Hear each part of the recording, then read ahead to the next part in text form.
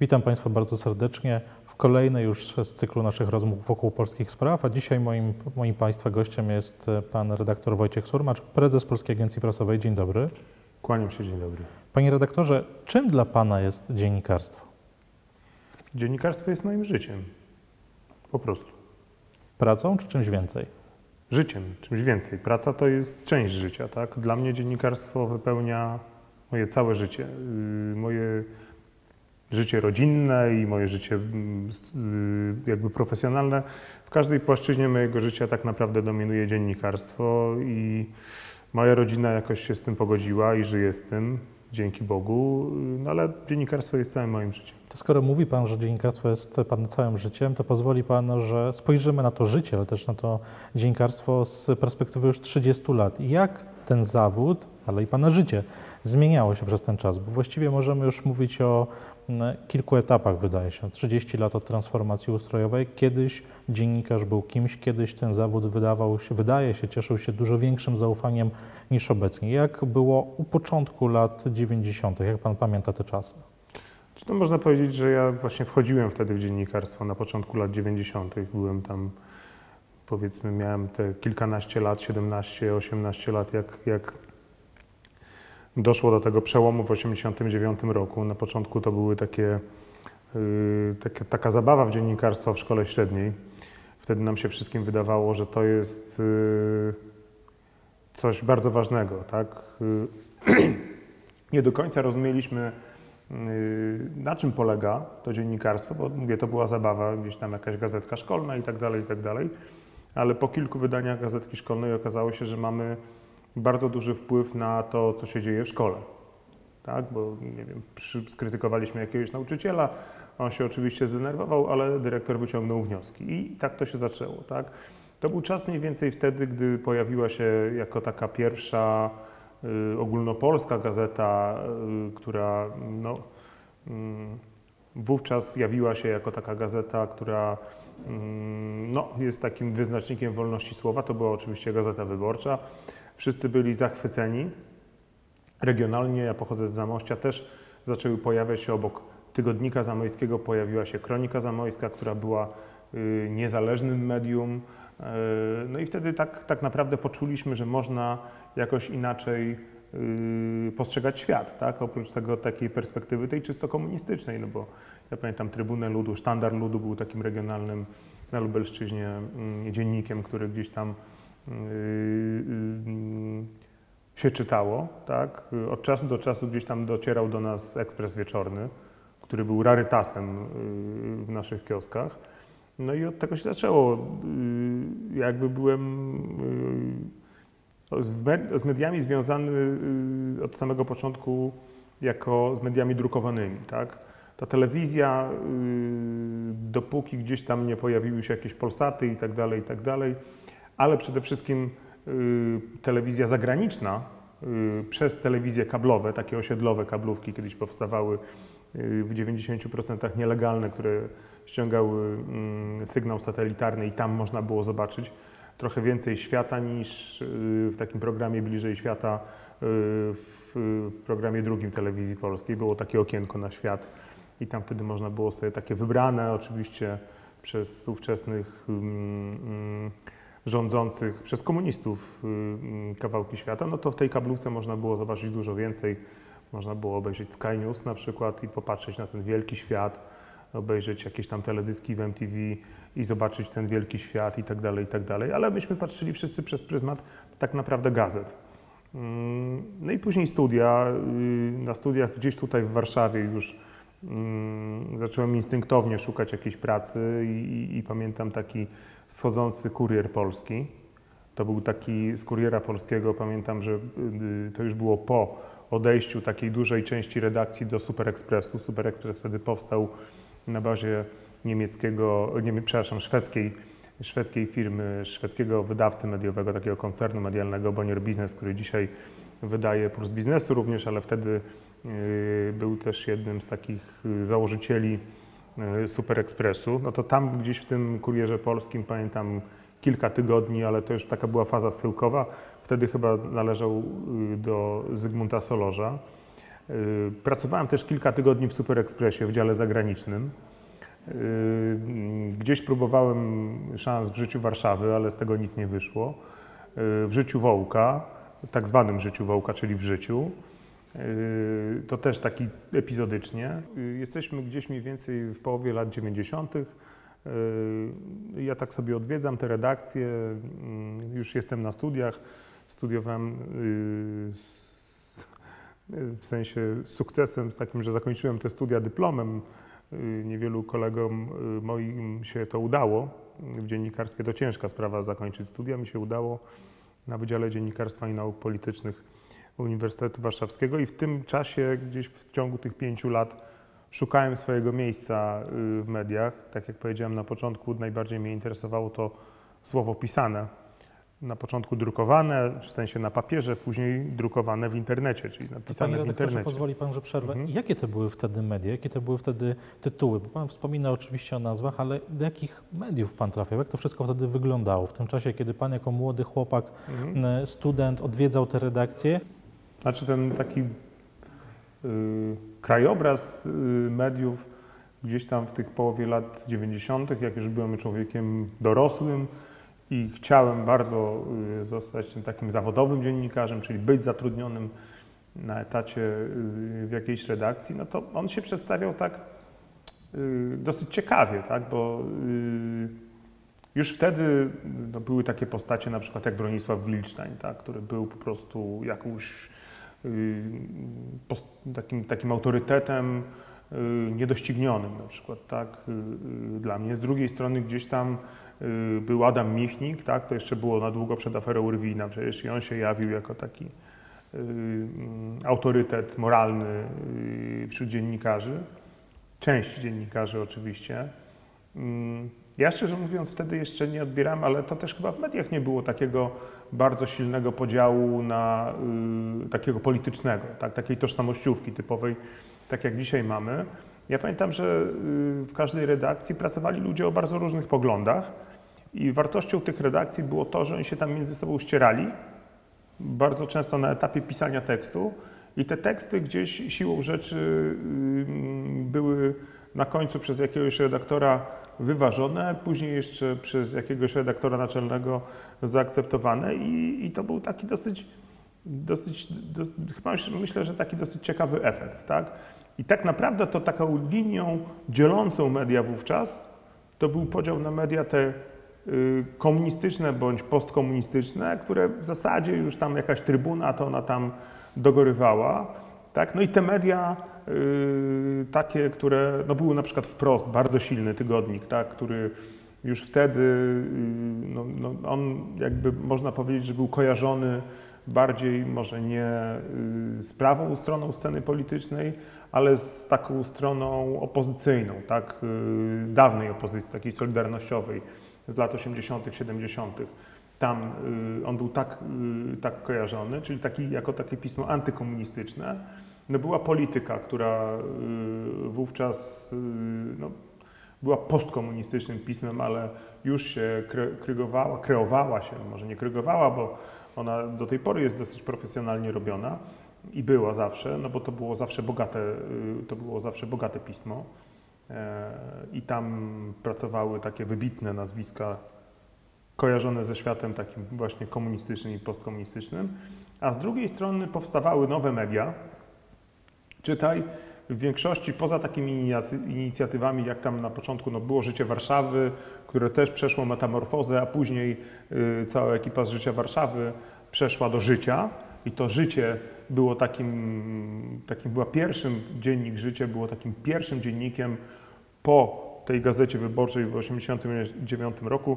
To już było takie, taki dziennik, który miał stanowić realną alternatywę do Gazety Wyborczej, czyli y, już to był taki pierwszy sygnał o tym, że, ten, że tak światopoglądowo to te media różnią się między sobą już nie tylko między, że to są komunistyczne i, i, i, i te niezależne powstałe po 1989 roku, to już wtedy już się kreował, y, już, już powstawał taki podział jakby po tej stronie, po, tej, po, tych, po, po stronie tych mediów niezależnych, tak? tych, które powstały, y, które nie miały gdzieś tam takiego bezpośredniego podłoża komunistycznego, czy to kapitałowego, czy ideowego, czy personalnego. Tak? To, to, to, to życie było pierwszym takim sygnałem. Ja cały czas mówię o tym rynku z perspektywy tego, tego słowa pisanego, bo oczywiście w międzyczasie powstał Polsat, gdzieś tam na początku jako telewizja satelitarna, która nie miała koncesji w Polsce, tylko gdzieś tam za granicą. Mm, no i pamiętam też, to już był gdzieś tak, hmm, mogła być końcówka lat 90., jeśli dobrze pamiętam, jeśli nie, to proszę mnie skorygować. Pamiętam, jak powstawała telewizja TVN, najpierw koncern ITI, yy, który yy, najpierw to było ITI Home Video, tak, czyli to były kasety wideo i wypożyczalnie wideo i cała produkcja yy, kaset wideo i z tego się jakby wykluła spółka TVN i pamiętam jak ten TVN powstawał. Pamiętam pierwszą y, transmisję TVN, która była tragiczna, bo tam coś się sypało z góry. Y, Kora z pudelkiem chodziła, oprowadzała Waltera y, po, y, po studiu i tam się wszystko zawalało. Trochę to wyglądało jak kabaret Olgi Lipińskiej, a nie profesjonalna telewizja. No ale z czasem, jak widzimy, y, pojawiał się tam jakiś kapitał różnej maści i różnej prowiniencji. Jednym się udało, na przykład tam jednym z takich inwestorów, któremu się nie udało i podobno stracił tam jakieś pieniądze jest Ronald Lauder, który dzisiaj jest szefem Światowego Kongresu Żydów. Y, jemu się podobno nie powiodła inwestycja w TVN. Y, no to tak na marginesie, ale wracamy do tego, do tego, no to wtedy tak się już to jakby rysowało. Natomiast jakby ja przez, y, przez całe swoje takie dziennikarskie życie, no po tych kilku próbach, że tutaj w tej redakcji parę miesięcy, tu parę tygodni, gdzieś tam na dwa lata w jakiejś takiej branżowej, y, takim miesięczniku filmowym, film biznes, yy, trafiłem do pulsu biznesu. I to była taka moja pierwsza poważna praca zawodowa, już tam dostałem etat, było ogłoszenie, yy, szukali dziennikarzy, ta gazeta się dopiero rozpędzała nie była jeszcze nawet dziennikiem w Polsce, tylko się ukazywała dwa razy w tygodniu. Jak ja tam przyszedłem i przyszedłem tam na kilka miesięcy przed tym debiutem dziennikowym, mm, że, że Puls Biznesu zaczął się ukazywać jako gazeta codzienna i tam, y, no nie mogę powiedzieć, że utknąłem, tam pracowałem prawie 10 lat w tej redakcji. Tam tak naprawdę nauczyłem się takiego prawdziwego dziennikarstwa, tak? bo to, że ja chciałem być dziennikarzem, że lubiłem pisać, że publikowałem już w niektórych gazetach, i profesjonalnych tytułach, to nie oznaczało tak naprawdę, że ja potrafię pisać, bo się musiałem nauczyć, żeby się nauczyć pisać w praktyce, a nie w teorii, czyli na studiach. Trzeba mieć dobrych redaktorów, trzeba mieć bardzo dobry zespół redakcyjny, mm, no, korektę i tak dalej, i tak dalej, wydawcę, no, cały profesjonalny staw. I trafiłem do, takiego, do takiej redakcji. Tam miałem kilku naczelnych, ale takim naczelnym, który wywarł na mnie największe piętno y, był i jest w dalszym ciągu, no bo jest człowiekiem aktywnym zawodowo, jest, był Jacek Ziarno. On, był, y, on przyszedł z Krakowa, był naczelnym y, wydania krakowskiego Gazety Wyborczej i stamtąd przyszedł do Pulsu Biznesu. Najpierw był wicenaczelnym, później był redaktorem naczelnym Pulsu Biznesu. I on tak naprawdę nauczył mnie pisać, a przede wszystkim nauczył mnie reportażu. Tak, najpierw y, pokazał mi, y, jak to się robi, czyli jak to się pisze. Później dał mi y, kilka książek, takich prawdziwych reportaży do przeczytania i nie były to reportaże Ryszarda Kapuścińskiego, żeby była jasność. Mm, no i tak zaczęliśmy pracować i wtedy jakby y, też wszedłem tak na twardo w dziennikarstwo śledcze. Tak? Niektórzy mówią najtrudniejszą część dziennikarstwa. No tak, dlatego że po pierwsze to się wiąże z bardzo dużymi obciążeniami, yy, no też psychicznymi, tak, no bo e, to jest chyba taki najcięższy, taki naj, ciężar gatunkowy dziennikarstwa śledczego jest chyba największym jakby wyzwaniem dla każdego dziennikarza. To nie jest łatwe z wielu względów, również ze względów bezpieczeństwa, tak. Yy, miałem takie momenty, że bałem się o, yy, o swoje życie. Mm, ale to może później. W pulsie biznesu jakby zacząłem na poważnie się zajmować tą, mm, tą działką i, yy, no, i od razu yy, poznałem, co to jest właśnie starcie się z jakimś takim silnym, silnym wrogiem, tak? w sensie takim kimś, komu zależy na tym, żeby um, ukryć prawdę. Tak? Bo tak naprawdę to y, no oczywiście każde dziennikarstwo, każdy rodzaj dziennikarstwa, gatunek y, polega na odkrywaniu prawdy. Taka jest jakby moim, przynajmniej w moim pojęciu y, misja każdego dziennikarza, który jest naprawdę dziennikarzem z powołania takiego wewnętrznego, który czuje, że powinien to robić, no on po prostu dąży do tego, do, do prawdy, tak, żeby ją pokazać. A w dziennikarstwie śledczym, no to jakby można pokazywać prawdę o kulturze, a tutaj chodzi o to, żeby pokazać palcem takiego człowieka, który coś ukradł albo kogoś okłamał. Yy, bo jeśli, nie wiem, na przykład jakiś, jakieś organy ścigania nie potrafią tego zrobić bądź nie mogą, no to wtedy mm, dziennikarze są albo przed nimi, albo po nich. Tak? Bo jeśli oni nie mogą to robić, to powinien zrobić to dziennikarz, albo jeśli oni nie wiedzą, to dziennikarz powinien sprawić, że oni się dowiedzą. Tak? A czasami się zdarza, że dziennikarz jest atakowany i z dwóch stron, i ze strony To organów, prawda, i ze tak. strony jeszcze to prawda, potencjalnych. To prawda, to prawda, szczególnie w tych czasach tam właśnie w latach 90. czy, na, czy, czy po 2000 roku, tuż po, yy, a później yy, po 2007 roku to już na przykład tak już bezpośrednio odczułem na własnej skórze, ale taki dos- dosyć, dosyć duży przeskok zrobiłem, ale wtedy poczułem na własnej skórze, że można liczyć tylko na siebie, tak? Ani nie można liczyć ani na państwo, ani, no i też czasami na redakcję, bo to tak dochodzi często do takich sytuacji, że każdy chce mieć jakby święty spokój i się odsuwają wszyscy i wtedy człowiek zostaje sam. Mówi pan, panie redaktorze, o tych 10 latach w pulsie Musiał- biznesu. Nie, w pulsie biznesu to, jest, to był przedział y, bardzo dla mnie y, pozytywny. Tam pracowali różni ludzie, bardzo różni, różnej proweniencji. Y, byli też ludzie, y, którzy gdzieś tam byli kojarzeni ze służbami, dawnymi służbami, ale byli też y, młodzi ludzie, tak jak ja, którzy jakby, tak jak mówię, myśmy wtedy w ogóle nie myśleli politycznie. Tak, myśmy po prostu robili swoje, a ja miałem ten komfort, że jakby jak, jak, jak coś robiłem, to ta redakcja mi wtedy gwarantowała, że to zostanie opublikowane. Ja pamiętam taki duży tekst o jednym z domów maklerskich, duży, dużych domów maklerskich, gdzie interweniowali, no, gdy, gdzie interweniowały w redakcji osoby y, z, z, no, z najwyższych stanowisk państwowych na wówczas, tak? Yy, I myśmy to wybronili i to zostało opublikowane. Także to no, ja sobie naprawdę cenię tą robotę, y, robotę w Pulsie. Wystarczy powiedzieć, że na prawie tam 9,5 roku pracowałem, tak? Na 10 lat y, pracy w Pulsie Biznesu tylko jeden tekst y, został, nie, nie został opublikowany. Zdradzi pan jaki?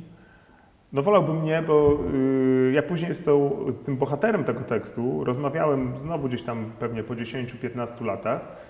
To jest jedna z najbogatszych osób w Polsce, która swoje przeszła. Y, Ja się po kilkunastu latach z nim spotkałem, jak byłem już, jak pracowałem już w, redak- w innej redakcji. Po 10 latach się z nim spotkałem od tego tekstu.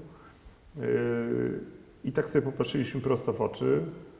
Yy, I on mi powiedział, że on już zapłacił za swoje grzechy i że on nie chce do tego wracać. No i ja zrozumiałem, że być może tak, no bo rzeczywiście dzisiaj jest trochę innym człowiekiem, co innego robi. No i tak, no to jest tak, ale, ale spotkałem się z nim i, i rozmawiałem o tym. Nie chciałbym o, o nim mówić, bo uważam, że to jest jedna z niewielu osób, która rzeczywiście mocno dostała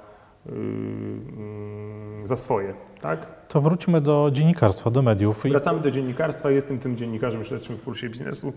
To trwa wiele lat i, i tak jak mówię, no, tam miałem ten komfort, że mogłem pracować nad jednym tematem pół roku. Dobrym tematem, tak? To, to dzisiaj nie do taki komfort- pomyślenia. Praktycznie. Praktycznie nie do pomyślenia, tak? Ale tam oczywiście to nie było tak, że ja nic nie robiłem przez pół roku, tylko robiłem jeden temat. Nie. Musiałem robić, to był dziennik, więc tam było dużo do, do, do, do roboty. Jakiegoś newsa, czy jakiś krótki boczek, czy coś tam. Oczywiście codziennie coś musiałem oddać, ale mogłem drążyć jeden temat kilka miesięcy, tak? I, i miałem ten komfort, że, że to też było publikowane. Natomiast po, po tych prawie 10 latach pracy w Pulsie Biznesu, Oczywiście to jest tak, że no to jest 10 lat i tak człowiek by chciał coś zmienić, tak, czuje się już takiej w zasadzie spełniony, że to już wszystko, wszystko, wszystko w życiu, wszystkiego w życiu dokonałem, yy, no jednak jest się ciągle młodym i, i, i ciągle by się chciało coś robić. No i wtedy trafiłem do Newsweeka. Poszedłem y, ze szwedzkiego wydawnictwa de facto, bo Puls Biznesu należy do Bonnier Business, do Szwedów, do wydawnictwa niemieckiego, a później niemiecko-szwajcarskiego, tak? czyli do Axel Springer, a po kilku latach to się przekształciło w Ringer Axel Springer. Duży przeskok? No ja byłem wtedy, wtedy mi się wydawało, że jak przechodzę z dziennika do tygodnika, to w końcu sobie też trochę odpocznę, tak? No bo tryb, codzienny i tak dalej, i tak dalej. E, a tu tygodnik, no to sobie odpocznę. No i okazało się, że to y, było, znaczy w moim, w moim pojęciu, tak, jak z mojego punktu widzenia, totalne nieporozumienie, bo ja tam miałem tysiąc razy więcej roboty niż y, w pulsie. No to po, mogę porównać tak, ja do, dokładnie to kiedyś policzyłem, już nie pamiętam dokładnie tej liczby, ale to było tak, że jak przez 9,5 roku w pulsie nie opublikowano mi jednego tekstu, nie, to przez rok w Newsweeku nie opublikowano mi bodajże 45 tekstów. Przy czym co tydzień publikowałem tekst, co najmniej jeden. W każdym wydaniu.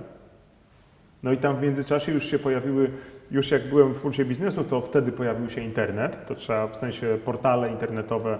Yy, była taka ta słynna bańka internetowa, gdzie powstawały portale arena.pl. Onet wtedy powstał, Onet założył, przecież był zakładany przez Optimusa. Mhm przez Romana Kluskę. Mm, Interia wtedy powstała, no i wtedy też Puls Biznesu założył swój portal. I wtedy tak naprawdę, to ciekawe, to być może wrócimy do tego tematu, ale, ale wtedy tak naprawdę posmakowałem czegoś takiego, czym jest hejt. Tak? I czym są trolle internetowe.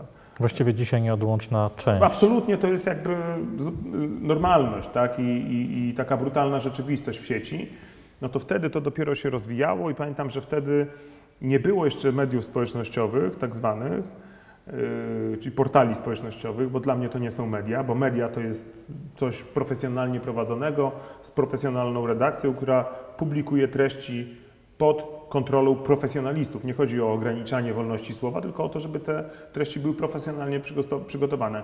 W mediach społecznościowych treści nie są profesjonalnie przygotowane, dlatego dla mnie to nie są media, tylko to są portale społecznościowe. To jest obszar społecznościowy, można tak to nazwać. Natomiast to nie są media. Mm, y, ale wtedy gdzieś tam raczkowała nasza klasa jakaś, tak? Gdzieś tam w Stanach mówiono, że jakiś Facebook powstaje, ale powszechne było, jeszcze blogerów nie było, blogi nie powstawały, ale pod tekstami można było komentować. Nie? Ja pamiętam yy, przy jednym, chyba właśnie przy tym tekście, o którym mówiłem, o tym domu maklerskim, który został opublikowany w internecie, tam się nagle pojawiło nie wiem, 40, 50, no kilkadziesiąt komentarzy, których odsądzono mnie od czci wiary. Kiedyś ewentualnie można było liczyć na list od czytelnika, co najwyżej. Tak, i to były no, różne listy, ale generalnie, yy, ale przynajmniej były napisane ręcznie, tak? Kryła się za tym jakaś odpowiedzialność, bo nawet jeśli to były anonimy, to one musiały być nadane na poczcie.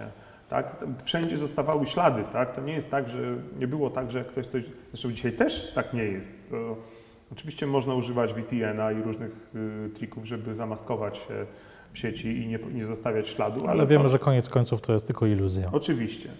Yy, natomiast yy, wtedy ja byłem w ciężkim szoku, no bo to generalnie pojawiła się ta nowa forma kontaktu, że tak powiem, między dziennikarzem a czytelnikiem, co, co, co było perfidnie, to było widać jak na dłoni, tak?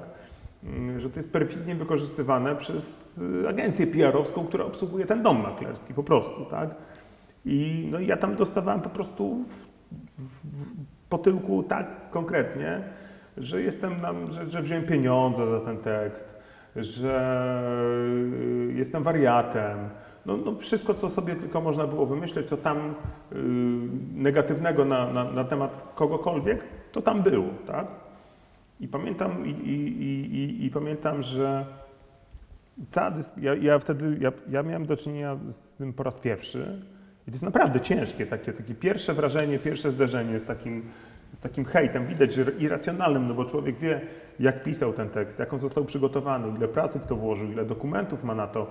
I to nie jest sąd, tak, że ja muszę y, gdzieś tam pokazywać, Pokazywać tylko to są po prostu jakieś anonimowe osoby, tak, które tam nie patrzą, czy ja coś im pokażę, czy udowodnię, tylko po prostu walą na oślep, pałą w, w głowę i tyle. No i pamiętam, że to się skończyło w pewnym momencie, bo ja rzeczywiście to, to, to ciężko to przeżyłem i, i, i, próbowałem dyskutować z tymi ludźmi w jakimś takim naiwnym przekonaniu, że to są normalni ludzie, ale jak im bardziej, im dłużej z nimi dyskutowałem, to oni tym bardziej wylewali na mnie to szambo, nie? I przestali wylewać na mnie y, to szambo, jakim zacytowałem fragment psalmu. Tak? Jakim, y, nie, nie pamiętam dokładnie dzisiaj, który to był psalm, ale to był fragment psalmu, który mówił o tym, że Bóg jest moją twierdzą, tak, i, i, i, i, i prawda zawsze zwycięży, i wtedy tam po prostu zapadła cisza. Dzisiaj to pewnie by jeszcze bardziej to nakręciło. Bardzo Ale... możliwe, bardzo możliwe, natomiast podziałało, tak, i a ja wtedy też poczułem taką specjalną relację. Nie? Ale chciałem dopytać o te lata pulsu biznesu i potem Newsmika nie bez przyczyny, bo mhm. rozmawiamy w perspektywie roku 2021, zupełnie inny dla mediów, dla polityki. Mhm. Kiedy Pana zdaniem ten etos dziennikarski, bo chyba o tym możemy mówić, ta mhm. misja zaczęła gdzieś się kruszyć, gdzieś te procesy erozji weszły, gdzieś to wszystko zaczęło się rozmieniać na drobne, bo dzisiaj no, dziennikarz wydaje się jest mało szanowanym zawodem, zawodem w społeczeństwie, mhm. pewnie moglibyśmy tutaj godziny rozmawiać, dlaczego tak się stało, mhm. ale jak Pan zauważał tą ewolucję mediów, dziennikarzy, konkretnych tytułów, to jak Pan e, to ocenia z dzisiejszej perspektywy? Znaczy tak, ja bym to jakby podszedł do tego problemu y, z perspektywy takiej globalnej i lokalnej. Nie? Globalnie, no to oczywiście to jakby mm, myślę, że nie odkryje Ameryki ani koła, jak powiem, że no jakby takie yy, klasyczne dziennikarstwo, takie oldschoolowe, stare, dobre dziennikarstwo zabiły portale społecznościowe, tak, bo yy, no i taka na początku szeroko, szeroko pojęta blogosfera, tak? bo ludzie, zaczęli, ludzie dostali dostęp do, za, za, za, za pośrednictwem internetu do przestrzeni publicznej. Tak? I okazało się, że tak, że z jednej strony mają portale, normalne media, a z drugiej strony oni mają swoje profile albo blogi, na których też mogą pisać, też mogą publikować i widzą statystyki, jak im się to klika, tak? Mają YouTube'a, na którym mogą nagrać jakieś wideo i mogą być też tak samo w telewizji, jak oni są na YouTubie, a ktoś inny jest w TVP, czy w TVN, czy na Polsacie. Z tą różnicą, że w zasadzie bez żadnej kontroli, bez, bez żadnej, żadnej kontroli, Bez żadnej pracy, tak? tak naprawdę dodatkowej. Bez przygotowania, bez weryfikacji informacji, yy, bez redakcji, która się tym wszystkim zajmuje i, i bez odpowiedzialności de facto. Bezkarnie. Tak? I, i, jakby pojawiła się po prostu fala informacji, która zaczęła wypierać profesjonalne dziennikarstwo, bo w tej fali y, oczywiście to, no to generalnie jakby to jest taka, można by po, porównać tą całą, y, tą całą sferę społecznościową tak zwaną do takiego nie wiem, no, do takiego targu, no, do takich do takich plotek, no, które zawsze gdzieś tam się chodziło na rynek, czy na targ, czy na bazar. I tam się zbierało tam się zbierały, zbierali się ludzie, plotkowali, a co tam słychać, a słyszeliśmy, że tam yy, yy, wprowadzą stan wojenny, nie? tam w 79 roku już może jakieś słuchy chodziły, ale jeszcze nie było wiadomo, bo telewizja była zablokowana, no tam ludzie między sobą plotkowali, gdzieś tam się spotykali i tak dalej, i tak dalej, to dzisiaj to wszystko się przeniosło do mediów społecznościowych i te media, te, przepraszam, portale społecznościowe, te miejsca społecznościowe zaczęły się zamieniać, zaczęły zabierać miejsce prawdziwym mediom, tak? bo ludzie yy,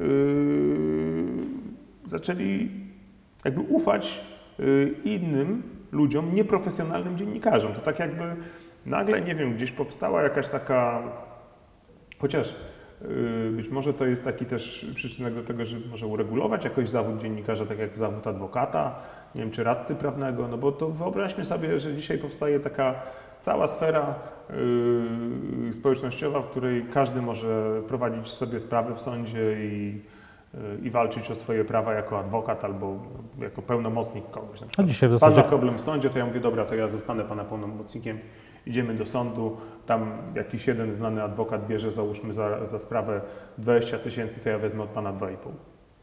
Albo nawet za darmo to zrobię, tak? A tak, darmo, a, takie, a tak jest w mediach. No w zasadzie każdy może być dziennikarzem, to znaczy każdy się tak może jest. uznawać za dziennikarza, mieć tak legitymację jest. prasową tak jest. i tak dalej. Tak jest. Być może to jest właśnie ten jeden z tych problemów.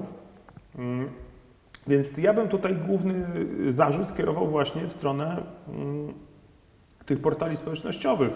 A dzisiaj, jakby dzisiaj, jak rozmawiamy o tym, mm, co się dzieje z dziennikarstwem, no to przede wszystkim, i tu znowu jest, y, patrzymy w kierunku tych portali społecznościowych, bo one są, przepraszam, zarzewiem yy, tego całego zjawiska, którym jest tak zwany fake news, czyli dezinformacja. Tak? To to jest w tej chwili morderstwo dla, dla wszystkich mediów. Tak? Yy, I, i, I to przecieka do, do mediów. Niektóre media, myślę, że nieopatrznie łapią się na takie informacje Y, z tych portali społecznościowych, wykorzystując je do publikacji już na swoich oficjalnych, y, w swoich oficjalnych serwisach, a niektóre robią to z premedytacją. Ja nie wiem na przykład, dlaczego y, Fakt na przykład opublikował tekst o tym, że marszałek Sejmu poleciała mm, helikopterem do Karpacza. Chociaż w ogóle i tam nie było. Chociaż w ogóle i tam nie było. Tak? Nie wiem, dlaczego oni to zrobili. Opublikowali, a później napisali, że wycofują, no bo tam za szybko poszło, nie? No właśnie, za szybko poszło.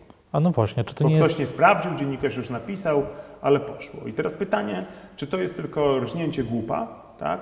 Czy rzeczywiście tak, taka bieda już jest w fakcie, że oni nie mają redaktorów yy, tylu, żeby, ogarnęli, żeby ogarnęli wszystkie teksty przeznaczone do publikacji, bo nie wiem, ledwo wiążą koniec z końcem, mają tam trzech redaktorów, którzy pilnują z jednej strony wydania papierowego, z drugiej strony online, no i gdzieś tam jeden poszedł bokiem. No. A czy to nie jest tak, że tam się trochę łączy z tymi problemami, grzechami dziennikarstwa tradycyjnego, że nawet to dziennikarstwo profesjonalne ma swoje problemy i z jednej strony rozmawiamy o tym pośpiechu, o, tej, o tych portalach informacyjnych mhm. czy społecznościowych, ale z drugiej strony właściwie można powiedzieć, że duża część tych tradycyjnych mediów, dziennikarzy porzuciła gdzieś to dążenie do prawdy na rzecz na przykład plemienności, walki politycznej. O tym mówię, to, o tym mówię. No, ten trend jakby narodził się, to, znaczy, to jest coś, miałem ostatnio y, taką dosyć yy, prywatną rozmowę, ale myślę, że mogę przynajmniej część uchylić, yy, część tej rozmowy upublicznić, bardzo, tak bardzo wąski fragment, ale rozmawiałem niedawno z Tomkiem Wruglewskim, który był naczelnym jakby, można powiedzieć, że twórcą Newsweeka w Polsce, tak? I w momencie, kiedy on startował z tym Newsweekiem w Polsce, no to był 2001 rok, to było World Trade Center, tak? Yy, przepraszam, że to powiem, ale lepiej nie mógł trafić, bo to był ten moment, gdzie zresztą w tym samym czasie powstał TVN24, tak?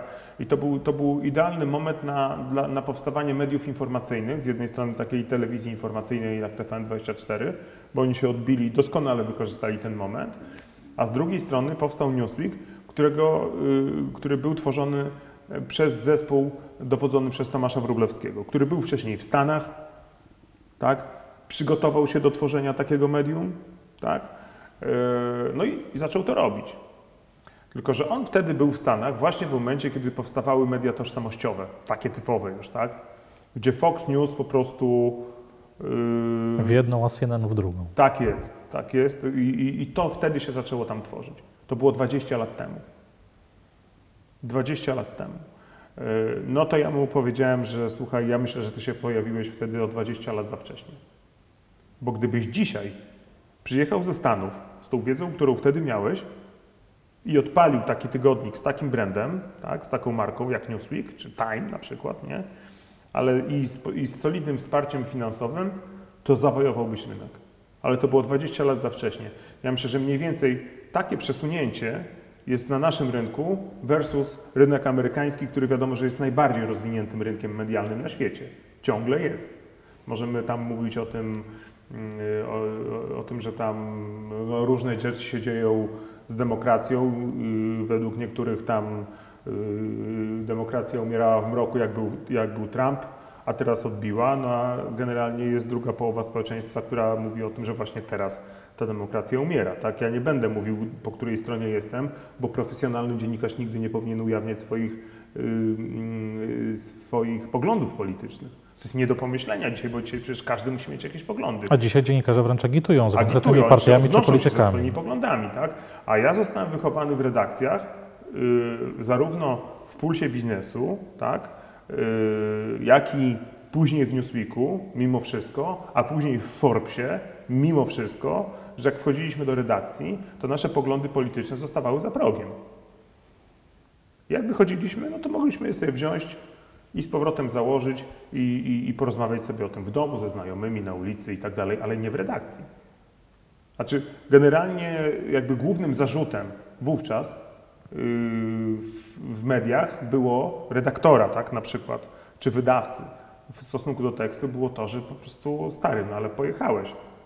To tam nie ma być nawet jednego zdania na temat Twoich poglądów politycznych. No chyba, że to był jakiś komentarz, felieton czy coś takiego, no to wtedy, ale to były wybrane osoby ze dwie, trzy, ze dwóch, trzech felietonistów w redakcji, którzy mieli prawo pokazać trochę tam i to też w odpowiednio wyważone. W odpowiednio wyważone, jak jeden, jeden był lewy, drugi był prawy, żeby było na, na, na kolumnie otwarciowej i, i, z jednej i z drugiej strony komentarz. Nie? Dzisiaj takie osoby są uznawane za symetrystów. I, za I, z, tego się. I z tego się czyni zarzut. Proszę? I z tego się czyni zarzut. Oczywiście.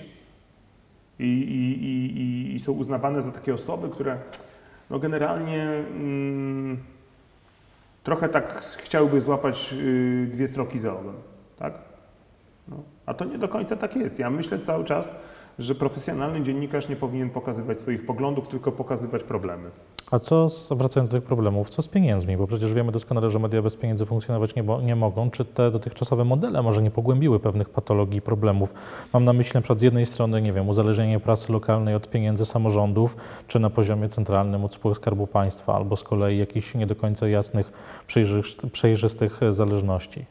Wie pan co, no to jest jakby kwestia pieniędzy w mediach, to jest w ogóle osobny temat i, i możemy o tym porozmawiać, tak? ale to nie będzie krótka rozmowa, dlatego że yy, po pierwsze yy, media są, ja jestem dziennikarzem ekonomicznym, tak? od 30 lat. Yy, I też dziennikarzem śledczym, ale w tej kategorii ekonomicznej. Tak?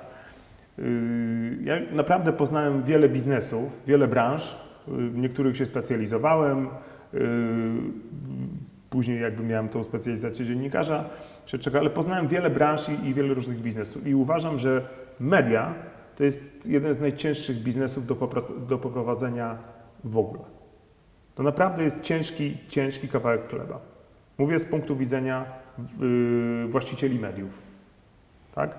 Bo na medium naprawdę jest bardzo ciężko zarobić prawdziwe pieniądze. Inna sprawa, jeśli medium jest wykorzystywane do innych celów niż zarabianie pieniędzy, tak? czyli do y, walki politycznej, również mediów prywatnych, żeby była jasność, bo ja nie mówię, ja, ja nie mam tutaj tylko i wyłącznie na myśli y, mediów państwowych, które są wykorzystywane do walki politycznej, bo tak jest wszędzie, na całym świecie. To jakby nie odkrywam, y, kto uważa, że BBC na przykład które uznawane jest w ogóle za kryształową telewizję i jakby taki yy, pomnik niezależnego dziennikarstwa na świecie, że to jest naprawdę niezależna telewizja. Nie jest. Nie jest i nigdy nie była. Ona, oni to robią bardziej finesyjnie, tak, po brytyjsku, tak, z klasą. Ale generalnie, jeśli to jest yy, telewizja, która yy, jest jakby kontrolowana zawsze przez partię, która wygrywa wybory. Zawsze. I tak jest wszędzie. To zostawmy może temat pieniędzy Więc na boku. Nie, ale, ale wróćmy do tych pieniędzy. I teraz tak, tu jest kilka, y, kilka opcji. Z tymi pieniędzmi jest tak, że z jednej strony mamy rynek y, medialny i ten y, we wszystkich segmentach, i w radiowym, w telewizyjnym, w internetowym, i w tej zanikającej prasie drukowanej, jakby podzielony mm, na kapitał polski i na, na kapitał zagraniczny, tak? Kto uważa dzisiaj, że kapitał zagraniczny nie ma nic do powiedzenia w mediach, no to jest yy, niespełna rozumu, okay? bo ma bardzo duży wpływ na polską opinię publiczną i przez co ma bardzo duży wpływ na kształt w ogóle, na politykę w Polsce. Bo ja w tych mediach pracowałem, szczególnie yy, w Axlu i wiem, jak to wygląda od środka. Więc nikt mi nie powie, że, że, że, że tam nie ma takiego yy, ciśnienia na, na, na, na, na opinię publiczną i, i, na polityków. Absolutnie jest. Yy, I to są pieniądze, to są konkretne pieniądze. Przecież yy, no to są To są set, setki milionów euro. Tak? Roz, rozkładając to oczywiście na te kilkadziesiąt lat, które tutaj przyszły. Yy, I oczywiście powiedzmy, że, że, że większość tych mediów, tych koncernów zarabia tutaj pieniądze, ale to nie są takie, yy, takie, takie zyski, które by delikatnie rzecz ujmując pozwalały im powiedzieć, że one oni mają tu w Polsce Eldorado. Spójrzmy w ich KRS-y i zobaczmy, jakie oni wykazują tam zyski. Po co oni tutaj w ogóle są? To są śmieszne pieniądze tak naprawdę. Te przychody. Nagle się okazuje, że po coś innego. Być może. Być może tak jest. No. Panie redaktorze, gdyby Pan miał wypunktować albo wskazać Pana zdaniem... Ale jeszcze jedną rzecz tylko powiem. A z drugiej strony być może im tak źle idzie, bo podam taki przykład i to jest akurat yy, taki przykład, który pokazuje na tym, że być może im nie wychodzi, bo mają z drugiej strony do czynienia z taką polską mentalnością. Ja pamiętam takiego dziennikarza, którego spotkałem yy, na swojej drodze, ale długo nie pracował w, tej gazecie. Bardzo krótko wręcz. To taki stary, doświadczony dziennikarz jeszcze z życia Warszawy. Nie? Taki, ja wtedy początku zaczynałem pracę w Pulsie Biznesu, a on był takim starym, wyżartym tygrysem, który pozwolił mi pojechać ze sobą do domu, znaczy wrócić, on wracał do domu, ja wracałem do domu i pozwolił mi sobie pojechać tramwajem. Myśmy wtedy mieli redakcję na Grochowie, jechaliśmy do Śródmieścia i on mówi tak, bo tam oni, znaczy wtedy zatrudniono do Pulsu Biznesu kilkadziesiąt osób, tak, z łapanki z miasta, no i oczywiście była selekcja i ci słabsi wypadali, on, a ja pracowałem u niego w dziale i on tak się na mnie patrzy i mówi, słuchaj Wojtek, ja widzę, że coś tam z Ciebie będzie, nie? Że chyba się utrzymasz, to ja ci powiem, o co w tym wszystkim chodzi. Nie? O co w tym wszystkim chodzi? Ja mówię, no o co? A on mówi, chodzi o to, pamiętaj, mówi, zapamiętaj, chodzi o to, żeby wydoić Szweda. Wydoić Szweda. Nie? I on oczywiście tego Szweda nie podoił, bo tam się bardzo szybko zorientowali mm, w redakcji, że on doi. To się tam przejawiało w różny sposób. Zresztą to dojenie trwa cały czas. Ja mam jakby przegląd pełen, tak? I, teraz na, na, na, obecnej funkcji miałem takie przypadki w firmie, którą, którą teraz yy, przyszło mi zarządzać. E, no jest dojenie w tych mediach. Jest dojenie. To jest trochę takie i być może, mm, no bo na przykład, nie wiem, w Axlu było różne opcje. Był polski prezes, później był niemiecki prezes, teraz znowu jest niemiecki prezes. No i tam chyba tak do końca się nie mogą doliczyć z ich pieniędzy, bo tam się trochę też rozjeżdża, nie? I to jest takie, to jest, mówię, to jest bardzo dziwna, bardzo dziwna branża. To, Ciężka branża. To od tego dojenia może przejdźmy, odbijmy się. Gdyby Pan miał wskazać albo wyliczyć jakieś takie główne grzechy Pana zdaniem, czy główne wady e, polskiego dziennikarstwa obecnie, to co by Pan wskazał przede wszystkim? Hmm. No, tylko nie wiem, czy to jest intencjonalne, bo może być intencjonalne, czy wynika to już rzeczywiście z takiego upadku. To może być jedno i drugie, ale to jest yy, jakby brak takich elementarnych zasad yy, w tworzeniu informacji, w przygotowaniu informacji, czyli weryfikacja informacji, weryfikacja źródła, tak? Yy, no to takie, takie podstawy, taki elementarz, którego jakby to, człowiek się uczy na samym wejściu. w zasadzie właśnie to chciałem powiedzieć, że to jest takie abecadło i ta refleksja właściwie by wskazywała, że można byłoby powiedzieć, że właściwie to praktycznie nie ma dziennikarstwa, skoro są problemy z, z warsztatem, czy z podstawami nawet tego warsztatu. Mhm. Ja podam taki, no to jest dosyć taki mm, ciężki przykład w sensie gatunkowym, bo yy, może nie będę podawał nazwiska, ale i tak wszyscy skojarzą o co chodzi. E, popełnił samobójstwo syn jednego z bardzo znanych polskich polityków. No i e, już nie będę nawiązywał do tego, co, co podał fakt, tak, jak to się skończyło. Natomiast ja patrzyłem na to z zupełnie innej strony, z innej perspektywy, zanim w ogóle fakt cokolwiek napisał, no to my jako agencja podaliśmy wcześniej tę informację, ale najwcześniej Podał to jeden z portali, też nie powiem jaki. Nie? E, No i myśmy tą informację dostali z pierwszej ręki, że tak powiem, z tego samego źródła co ten portal. Tak? Ale podaliśmy to i portal podał tą informację o 9.30 rano, a myśmy tą poda informację podali o 16.30. Wiele godzin po. Bo tak długo nie podawaliśmy informacji, dopóki się nie dodzwoniliśmy do tego człowieka i nie potwierdziliśmy, mimo wszystko, wielka tragedia, tak? Ale musieliśmy go zapytać, czy to wszyscy nam potwierdzali wokół, ale myśmy chcieli, żeby nam to potwierdził ojciec. I on to potwierdził. I dopiero jak to potwierdził, powiedział jedno zdanie i myśmy z tym zdaniem opublikowali wtedy depeszę w papie. I proszę sobie wyobrazić, że naczelny tego portalu zadzwonił do nas z wielkimi pretensjami, używał tam różnych swoich y, kontaktów, żeby wymusić na nas, żebyśmy dopisali w tej depeszy, że myśmy to podali za tym portalem, że oni byli źródłem. A myśmy po prostu przez 7 godzin weryfikowali informacje. Oczywiście wszyscy już wiedzieli.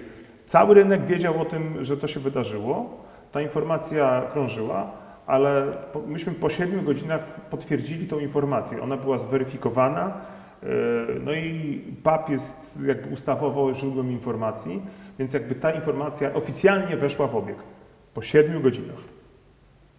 Aha, mieliśmy, a dlaczego to zrobiliśmy? No między innymi dlatego, że jakiś miesiąc czy tam kilka miesięcy wcześniej pojawiła się informacja o śmierci Adama Słodowego, którą powtórzyli wszyscy, PAP też, żeby była jasność, ale PAP od razu ją wycofał, jak się dowiedział o tym, że i skorygowaliśmy, powiedzieliśmy, że to nieprawdziwa informacja, że my to korygujemy, tak? Yy... No i tyle. Znaczy my generalnie, yy, oczywiście jest zasada podstawowa, że weryfikujemy te informacje, ale był, pojawił się jeden wyjątek przy, przy okazji informacji o śmierci Adama Słodowego, gdzie podaliśmy to za jedną z telewizji, no bo jak już to telewizja podaje, no to i zdjęcia latają w ekranie. Też nie do pomyślenia, że można byłoby to puścić bez weryfikacji, tak, prawda? No bo to jest przecież w ogólnopolskiej telewizji. Ogólnopolska telewizja, tak, która jest koncesjonowanym, y, koncesjonowaną instytucją, tak? Czyli co, pogoń za newsem, gdzieś na końcu musi się zgadzać Excel i te tabelki w Excelu zamiast, e, albo raczej przed e, jakością, przed weryfikacją? To główny Pana zdaniem teraz problem dziennikarstwa? Tutaj akurat w tym przypadku, y, ja myślę, że tutaj, e, tutaj, tutaj w tym przypadku to był przejaw właśnie tej, tego, tego, mm, tych słabych struktur coraz słabszych, bo nawet jak się okazuje najbogatsze redakcje w Polsce potrafią puścić takiego, po taką, taką nieprawdziwą informację. Nie sprawdzić, nie zweryfikować. To jest słabość struktur. Tutaj i, i, i już tutaj bym nie rozmawiał w ogóle o pieniądzach, bo są media, które mają pieniędzy pod dostatkiem i puszczają takie informacje i to wynika ze słabości struktur. I, to, I z tego, że yy, no, ten zawód dziennikarza yy, jest w Polsce cały czas jakby z jednej strony on upada, tak? ta jakość się obniża, ale ona się obniża też dlatego, że y, oczywiście nie wszędzie, bo ja pamiętam y, taki moment, jak, jak powstawał dziennik y, w Axel Springer i tam te wynagrodzenia dla dziennikarzy to były jakieś kosmiczne. Tak? I to był trochę y, taki napompowany balon, który później pękł.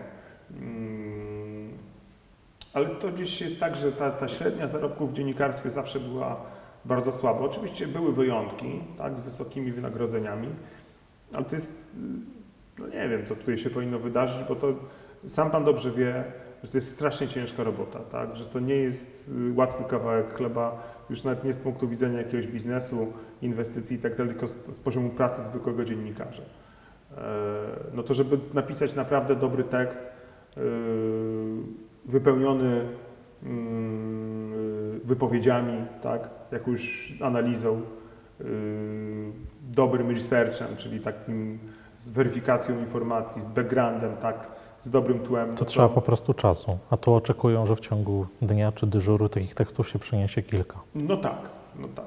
No tak. To przechodząc i tak powoli zmierzając do końca naszej rozmowy, chciałem zapytać o perspektywy. Jak Pan widzi perspektywy przed polskim dziennikarstwem? Bo rozmawialiśmy o tym, co było, o tym, co jest, mhm. a jaką, jakie pan, jaką Pan widzi przyszłość przed y, naszym zawodem i w Pana przypadku też, i myślę nie tylko Pana, przed Mhm. Pana życiem. Znaczy ja jestem naiwnym człowiekiem. Ja wierzę w to, y, że... Znaczy ja wierzę w renesans y, starego, dobrego dziennikarstwa. Wierzę w to i, i, i poniekąd może jak tak y, znowu byśmy odwrócili trochę się w stronę tego rynku amerykańskiego, słynnego, który jednak, no mówię, no on jednak tam wyzna, cały czas wyznacza trendy, tak? No bo nie będziemy szukać przecież y, jakichś trendów i, i, i wzorców, nie wiem, w Chinach czy w Rosji, no bo to jest generalnie inny świat, inne światy zupełnie, więc nie tam. Y, No to tam generalnie mm, przede wszystkim doszło do odrodzenia y, dziennikarstwa na takim poziomie mm, mikro, tak? Czyli najpierw gazety regionalne zniknęły z powierzchni ziemi tam, tak? I rynek, lokalna prasa upadła, A u nas było blisko. ale to, to się wydarzy. Było blisko i to i dojdzie do tego, żeby nie było wątpliwości. Tak? To jest jakby. Yy, nie ma innego trendu, no nie ma innego wyjścia. Ona upadnie, ta prasa lokalna upadnie u nas. To jest kwestia, nie wiem, ilu lat, roku, dwóch, może trzech lat. Natomiast tam po upadku tym zupełnym tej prasy lokalnej odrodziły się media lokalne w postaci portali. Tak? Czyli te redakcje stare gdzieś tam zaczęły się, gdzieś tam jacyś ci ostatni Mohikanie, którzy pozostawali w tych Stanach, malutkich wioskach czy tam malutkich miasteczkach, yy, jak już gdzieś tam się trochę obudzili yy, z tego letargu, yy, z tej biedy, no to zaczęli tworzyć te media od początku, tak? Albo mając tą wiedzę, gdzieś tam korzystając z wiedzy starszych kolegów, zaczęli tworzyć. Pasjonaci, którzy dostrzegli, że na przykład w ich miasteczku nie ma jakiegoś takiego miejsca, w którym można przeczytać, co tam się dzieje i tak dalej, tylko ciągle ten CNN, ten Fox. Oczywiście Fox ma swoje regionalne, yy, takie specjalnie dedykowane stacje, są regionalne telewizje, regionalne yy, rozgłośnie radiowe, jest tego bardzo dużo w Stanach. Ale te portale zaczęły powstawać, nie? Yy, no i tak myślę, że ze dwa lata temu yy, przeczytałem, jest taka, jest taka instytucja yy, w Stanach, która się nazywa Poynter Institute. I tam zobaczyłem coś, co jakby wywołało we mnie naprawdę duże poruszenie, no bo się okazało, że te, yy, te media lokalne już są na tyle silne, że zaczęły się włączyć, łączyć najpierw w sieci stanowe, tak? takie zupełnie nie pod jedną nazwą, tak, że tam jakiś coś tam news, tak, tylko po prostu w takie spółdzielnie, jakby takie mini korporacje, ale no bardziej spółdzielnie, nie? Zaczęły się sieciować po prostu e, na poziomie stanowym, później na jakimś takim makroregionalnym i zaczęły dealować z domami mediowymi. Bo tam się y, zaczęły pojawiać konkretne zasięgi i zaczęły zarabiać naprawdę solidne pieniądze. Tak? I stają się właśnie teraz taką realną przeciwwagą te media regionalne do tego, do tego takiego turbo mainstreamu, tak? który jakby rządzi w Stanach, czyli New York Times, Washington Post, tam te wszystkie mm, telewizje i tak dalej, i tak dalej, mm, Huffington Post czy, czy, czy, czy Breitbart, wszystkie te takie silne brandy zaczynają czuć ciśnienie od spodu tak, z regionów. To jest pierwszy taki znak, że ci ludzie tam na dole z jednej strony poczuli się zmęczeni yy, tą taką twardą indoktrynacją yy, tożsamościową, tak? Z drugiej strony poczuli się zmęczeni dezinformacją i, i portalami społecznościowymi, więc zaczęli robić swoje. W, zaczęli wracać do tych takich regionalnych, swoich własnych mediów. Tak? Znaczy oni już, znaczy zaczęli, oni już wrócili. Teraz to się zaczyna instytucjonalizować i tam zaczyna naprawdę powstawać realna siła przekazu. Tak? I ja myślę, że u nas, znaczy u nas, yy, ja widzę ten trend, tak? Yy, myśmy w papie zrobili takie badanie i nam wyszło, że w tej chwili to tam mamy około 2000 mediów, różnego rodzaju mediów regionalnych, portali parafialnych, mhm. jakichś małych gminnych, nie związanych z samorządami, nie finansowanych przez samorządy, tylko takich właśnie inicjatyw zupełnie oddolnych, gdzie tam, nie wiem, jakiś gość, który na co dzień sprząta wagony, raz w tygodniu w sobotę sobie siada i tam dokłada do tego, co- czegoś tam się dowiedział i dokłada, tylko że to jest na razie level taki naprawdę basic, gdzie to trudno nazwać jeszcze w niektórych przypadkach dziennikarstwem, bardziej to jest takie blogerstwo, ale okraszone już tam jakąś informacją z odwołaniem się do konkretnego y, cytatu, konkretnej wypowiedzi konkretnej osoby.